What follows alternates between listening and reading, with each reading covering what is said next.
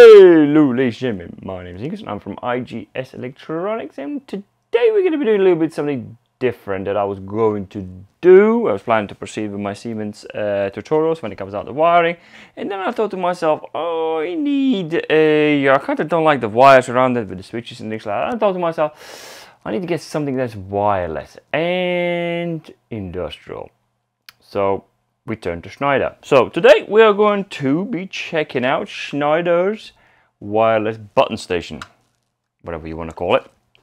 Uh, this guy in here has got a two channels and what he does is he's able to accept a, a signals from uh, wireless buttons and this button in here when you uh, when you push it is generating enough power to be able to send the signal to this guy to turn things on and off and he's got some uh, other functionalities in here which are pretty cool especially for those who uh, wants to have a uh, remote station that you walking around and things like that and you don't really want a cable coming with you this is the friend for you. Because uh, you can latch things on you can uh, pulse things and and it can uh, start stop things and and we'll check it out in a minute. We'll have a quick look at it. It's a pretty cool pretty cool gadget it is pricey. That's the only thing down out about this product. It's quite a price here, and I think the set that the, the unit, this unit in here is something about between 150 to 200 pounds here in UK, and the button alone is about 70. So it's quite a pricey thing to have, but it comes with a hell of a lot of benefits if you are looking looking for wireless flexibility. So I'll bring you along, show you how that works, how to set it up, because we're going to be using, using that station more or less in a next upcoming video. So without further ado, let's get started.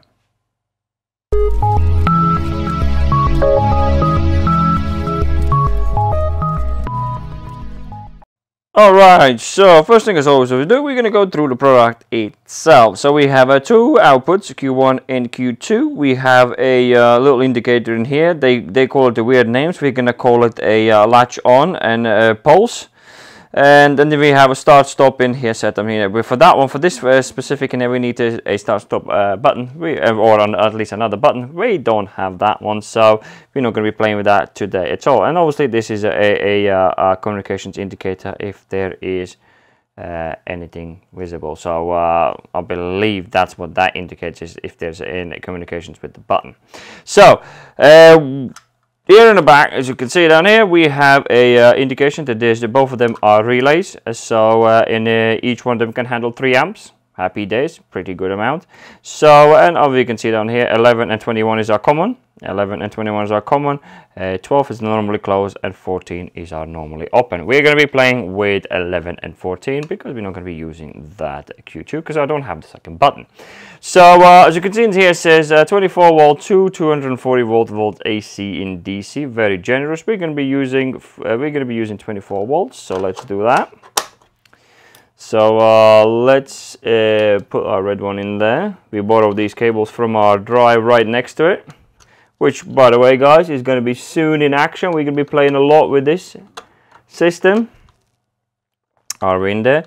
So another one we're going to do, we are going to a, uh, provide, let's borrow from this guy. So uh, 24 volts. Come on, seriously? He's messing with me. It was messing me. I beat him. So uh, 11 is our common. So we're going to be sending a voltage out because it's a relay, remember? So we're just going to be uh, closing the relay to send our voltage to our lamp for our testing purposes today. Why not? So, uh, and uh, yes, so let's have, was it 12? No, it's 14. So 14 is the one that's going to be sending it out once it's closed off. No, let's undo that. Come on. We're doing this live, boys. Why not? For a change. So, and then we're going to have a little uh, light in here to give us a bit of indication that we are doing something right. And that's a 24 volt as well, DC. So, so here we go. So I'm just going to put it in here for testing purposes. So. There we go. Our light is ready. So now let's plug our power in. Here we go. So first things what we're going to do, we have a cursor button in here that moves just one way, as you can see, it just goes one way, but that's pretty much the circulating from options that we have. And then we have a, a accept button, okay, in here. First thing we're going to do, we're going to reset the whole thing. And to do that, just hold these buggers together for a, quite some time. So let's do that. So he's going to do all his business flashing.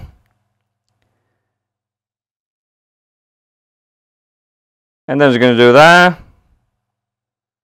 Then he needs to come all on together. Come on. There we go. Then we let it go and we do it again.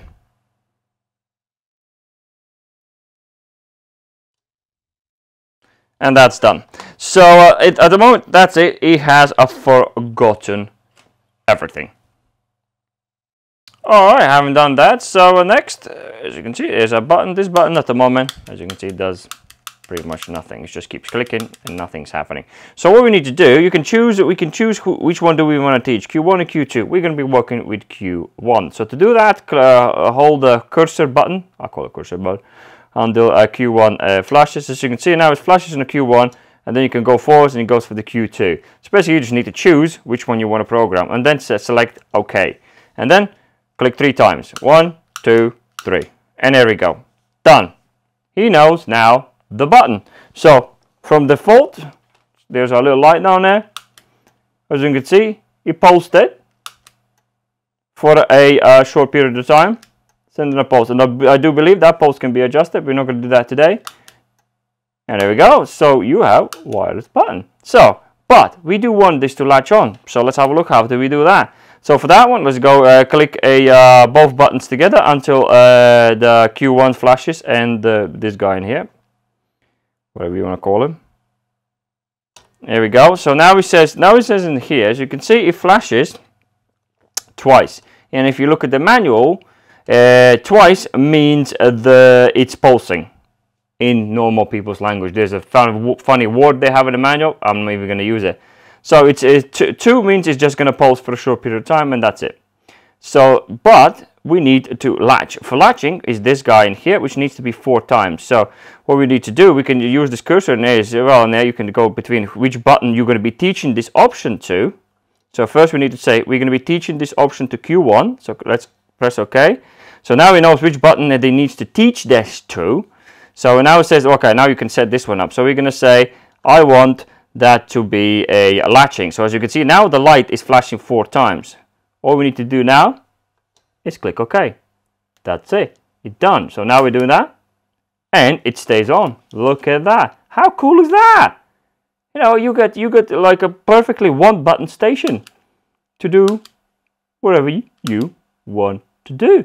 That, ladies and gentlemen, is it. So and plus there's there's another option you can do. You can add a, uh, a start stop button. I don't have it, but maybe in the future I do have it. So let me just uh, swap them around no this one this one in here so uh, here we go so there is the button have a look at it so there's a button in here so in zoom in not sure you can see or not how about that?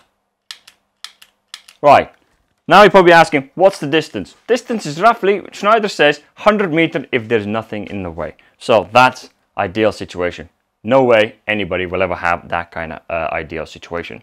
There is transmitters, there's actually uh, what they call the amplifiers. So you can use amplifiers if you're using all the way across the factory somewhere and things like that. But for that, I don't know why would you, but sometimes you do, you never know. So, uh, uh, but I tested this button. So I got my, uh, uh, what they call the workshop in here. When I go out, so I got like a brick wall, and insulation and things like that. So, so I'd say I'll go behind that one. It did come on, but I was standing behind the door, which is thinner.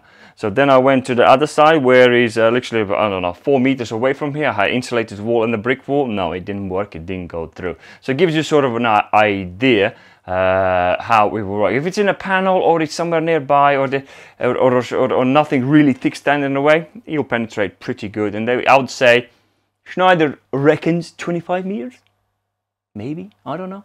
So for me I tested it. It did work when I gone through the through my door. It was going pretty good. I walked quite a I walked about I don't know 10 meters away. Worked really well. So here we go ladies and gentlemen. This is customer. There's obviously other other different uh, buttons you can have. There's like dual station with start stop button things like that. So do check out the uh, the range. Again, I wanted this because I wanted because I'm working with a lot of things in here and I just don't want the cable standing in the way. I needed something wireless and here we go. So that's Thank you very much for Schneider. Only a downside for this is, is the price. But again, if it is for industry, for a lot of people, that doesn't really matter too much. So that'll do for this video, Thank you, ladies and gentlemen. Hope you enjoyed it and does give you some pretty good ideas what this button can be used, especially for those. I had so many people requesting me, how can I use one button to start and stop the drive? Here we go. Here's your option. If you have the money, go for it. So yeah, thank you very much for watching, ladies Don't forget to subscribe if you're new to the channel and do like it if you like the video. I don't know. I'll see you in next video.